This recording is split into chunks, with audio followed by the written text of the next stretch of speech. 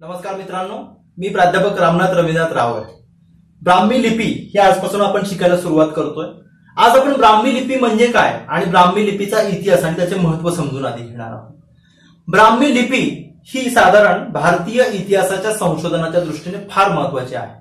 त्याला कारण म्हणजे इतिहासातली एक व्याख्या आहे नो डॉक्युमेंट्स नो हिस्ट्री म्हणजे इतिहासाच्या संशोधनासाठी त्याला पुरावे असल्याशिवाय त्या इतिहासाला इतिहास प्रमाण मानलं जात नाही. तर भारतीय प्राचीन इतिहासाचा ज्यावेळेस तुम्ही विचार करता तर त्याची साधनं म्हणजे त्याचे पुरावे यांचा जर विचार केला तर लिखित साधनांना अस्सल अव्वल किंवा प्रायमरी सोर्सेस असं म्हटलं जातं. या साधनांमध्ये या पुराव्यांमध्ये लिखित साधनांचा इतिहास हा या ब्राह्मी लिपीपासून सुरू होतो. सम्राट अशोकाच्या शिलालेखांपासून भारतीय लिखित इतिहासाला प्रारंभ होतो. आणि ती सगळे शिलालेख जवळपास ब्राह्मी लिपीत आहेत. सम्राट अशोकाच्या काळातले चाळीसच्या आसपास असणारे शिलालेख हे ब्राह्मी आणि खरोष्टी लिपीत आहे मागील तासात आपण समजून घेतलं खरोष्टी ही उजवीकडून डावीकडे लिहिणारी लिपी ही साधारण वायव्य प्रांतात म्हणजे काश्मीरपासून पाकिस्तानचा जो काही प्रदेश आहे त्या प्रदेशात अफगाणिस्तान पर्यंत गांधार पर्यंतच्या तिथे खरोष्टी वगैरे लिपीमध्ये लिहिलं गेलेलं आहे. आता या ब्राह्मी लिपीचा इतिहास समजून घेण्यासाठी ही लिपी काय आहे? याच्याबद्दल संशोधकांची मतं आपण जाणून घेऊयात. अनेक संशोधकांच्या मध्ये ब्राह्मी लिपीच्या उत्पत्तीबद्दल अनेक मत आणि मतांतर आहेत. जसं की सर विल्यम जोन्स असेल कॉप असेल या इतिहास संशोधकांच्या मते ब्राह्मी लिपीचा उदय हा सेमेंटिक लिपीपासून झालेला आहे.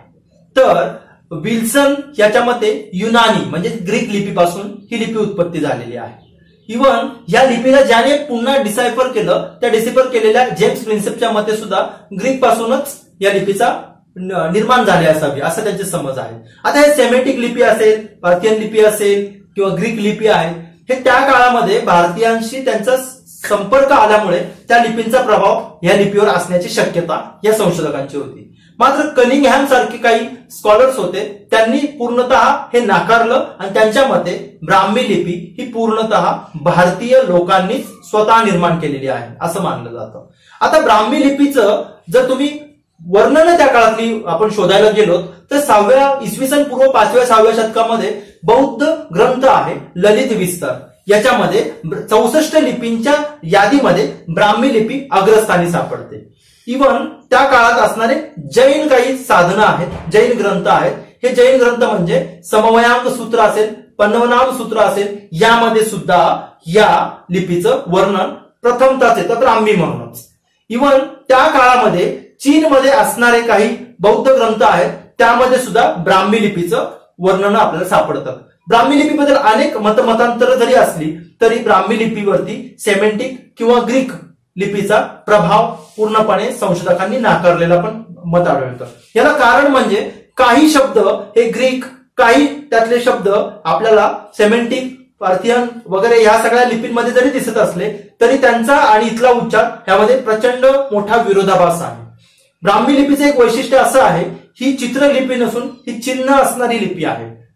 प्रत्येक आदर्श लिपीचं एक विशिष्ट महत्त्व मानलं गेलं जातं ठरवलं जातं त्याचा दर्जा ठरवला जातो की आपण जे बोलतो ती भाषा लिहितो ती लिपी तर बोलणाऱ्या भाषेच्या उच्चारातल्या प्रत्येक वर्णाला एक चिन्ह देणं या चिन्ह ही ब्राह्मी लिपीत परिपूर्णतेने सापडतात.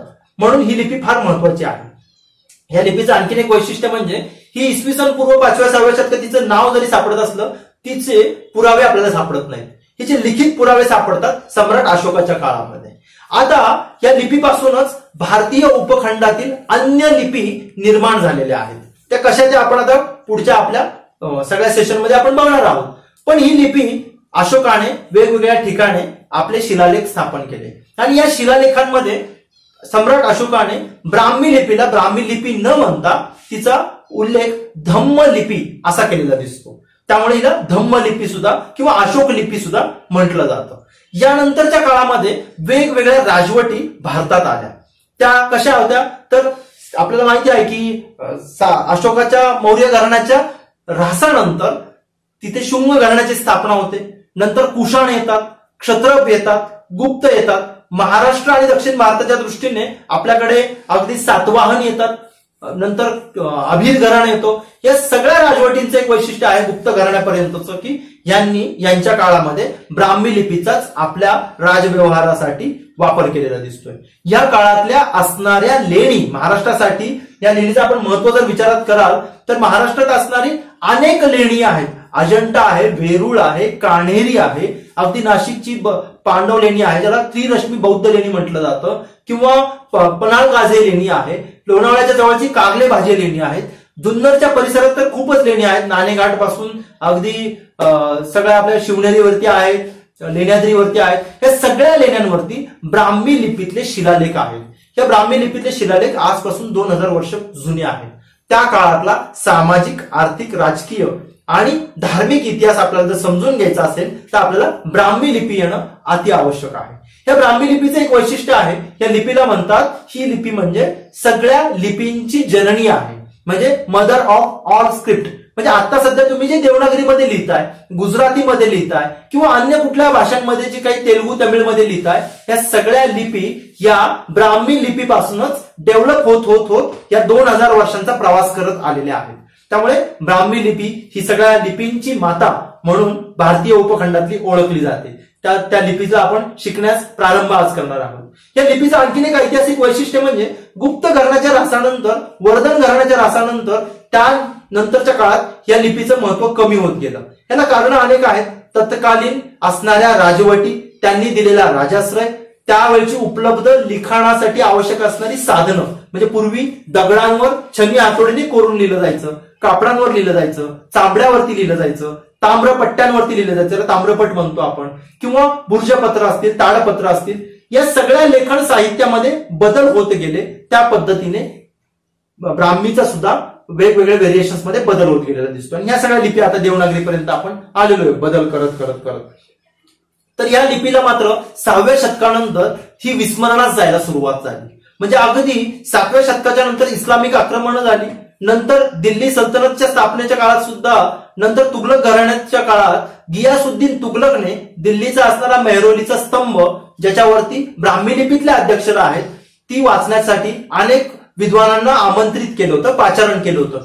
पण सल्तनत काळात बाराव्या तेराव्या शतकात सुद्धा ही लिपी कोणाला वाचताच आली नाही. अगदी मुघलांच्या काळात अकबराच्या दरबारात सुद्धा अकबराने अनेक विद्वानांना पाचारण करून ही लिपी वाचण्याचा प्रयत्न केला. मात्र ती कोणालाही वाचता आली नाही. आपण अकबर बिरबलाच्या हुशारपणाच्या अनेक गप्पा ऐकतो.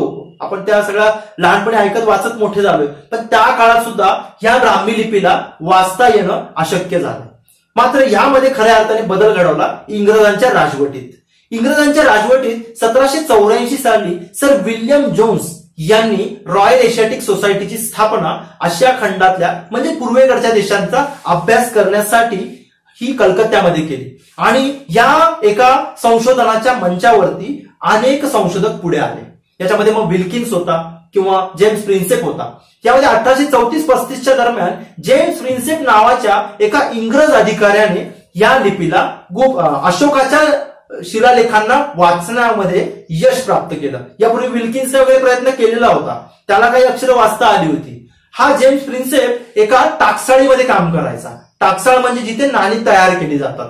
आणि शिवाय हा जेम्स प्रिन्सेप एका टाकसाळीवरती काम करणारा इंग्रज अधिकारी होता. याला ग्रीक भाषा येत होती. आणि असं सांगितलं जाते त्याला एक नाणं सापडलं. ज्या नाण्याच्या एका बाजूला ग्रीक भाषेत लिहिलेलं होतं आणि दुसऱ्या बाजूला ब्राह्मी लिपीत लिहिलेलं होतं. आणि अन्य काही शिलालेखांचा त्याने यापूर्वी देखील सतत अभ्यास केलेला होता. त्यात सततच्या येणाऱ्या शब्दांवरून त्याने अभ्यास करून या लिपीला डिसायफर केलं. आणि या लिपीला वाचण्याच्या यशामुळे आपला इतिहास ज्ञात इतिहास खरा इतिहास सम्राट अशोकाच्या काळापर्यंत जाऊन पोहोचला. म्हणजे इसवी सन पूर्व दुसऱ्या तिसऱ्या शतकापर्यंतचा लिखित साधनांच्या आधारावरती असणारा इतिहास आपला पोहोचला. त्यामुळे भारताचं प्राचीनत्व आणखीन इतिहास क्षेत्रामध्ये मजबूत झालं जगाच्या इतिहासाच्या दृष्टीने. तर जेम्स प्रिन्सेपचे भारतीय इतिहासावरती हे फार मोठे ऋण आहेत आणि त्यांचे आमच्या सारख्यांवरती सुद्धा ऋण आहेत की त्याने डिसायपर केलेली लिपी आज मी तुम्हाला शिकवणार आहे. असा हा सगळा जेम्स प्रिन्सेपने डिसायफर केलेल्या सम्राट अशोकाच्या काळातल्या असणाऱ्या धम्म लिपीचा ब्राह्मी लिपीचा इतिहास आपण आजपासून जाणून घेणार आहोत. धन्यवाद.